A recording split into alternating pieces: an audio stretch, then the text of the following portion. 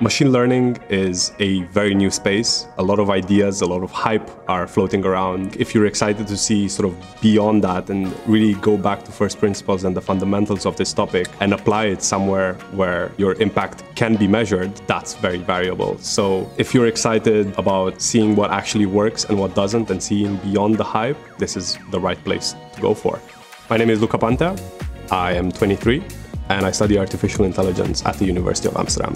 Um, well, there's no shortage of fun times here at IMC, and I think you know having people who also want to have fun is, is great to have in the workplace. I think my most fondest memory at IMC was going to the Euronext, being there when market opened, getting to know about the history of the place, sort of seeing what the roots of trading is, and actually hitting the gong was something quite special, and I'm sure I'll remember that for the rest of my life.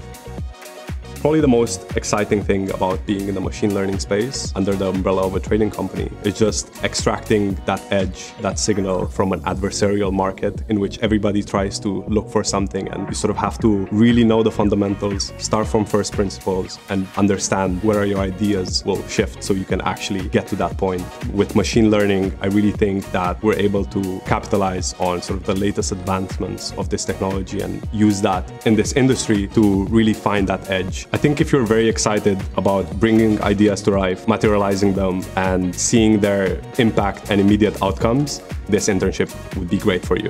If you want to just go beyond ideas and research papers and actually see something being implemented in the real world, yeah, this internship is the right choice for you.